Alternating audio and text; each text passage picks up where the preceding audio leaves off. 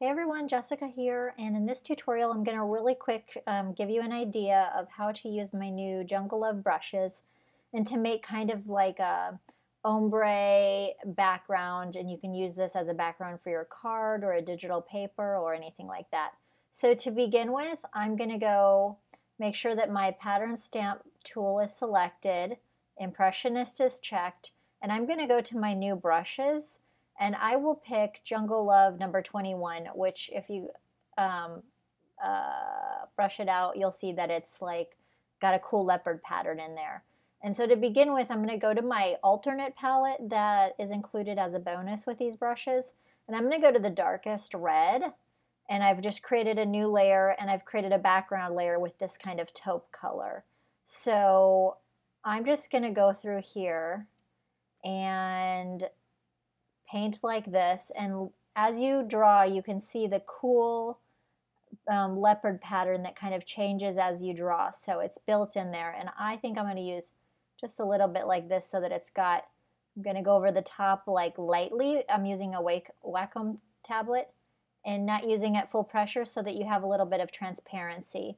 So I've got my bottom layer and now I'm going to make a layer underneath that and I'll create a new layer and then I'm just going to go to my next color of red that is um, just one step lighter. And just do the same thing and I might not do it at full full uh, pressure either to give that transparency. And then I'll make another layer underneath it and I'll take my lighter red and do the same thing. And again go and I'm going underneath it because I want the darker to show through on top. So I'm going to make a new layer. And for this one, I think, I don't know if I will, mm, I don't, I think I'll just try this number six here because it's a blend of light and with a couple specks of red in it. But I might have to undo it because there might be some dark. Let's see how this turns out. This is okay, but you know what? I think I'm going to skip this one. So Let's just cut that. And I will go here to number four. Let's just go straight into the um, taupe kind of colors. So that's cool. And then I'm going to make a new layer below it. And then I will go to like number two. That looks a lot lighter. And paint that on a new layer. Yeah. All right. And then make one last layer underneath it and I'll use number one and then I'll just paint across there.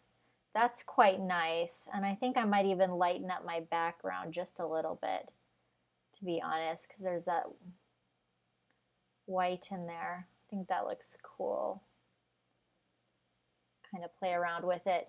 And there you can make a cool gradated leopard sort of thing. And the first time that I did this, though, I just did it at the bottom. So this time I kind of took up the whole page. But you know, this could be like at the bottom of a card design or something. Or you can make this, you know, like to be a digital paper. So there's a lot of different things you can do and then use it, incorporate it into your design. Or if you created something like this, um, as long as it has more than one brush stroke in it, then you know you can sell this uh, or include this as part of like your um, a template or something like that. So I'm all about giving you guys the tools that's going to help you in your work and make your work easier and more fun. And you see how, how fun and easy it is. So it's all about letting Photoshop do the heavy lifting. And this looks like it took a lot of work, but we know it really didn't. So I'm all for finding my shortcuts and letting the Photoshop do the heavy lifting. So if you have any questions, just write them down below in the comments.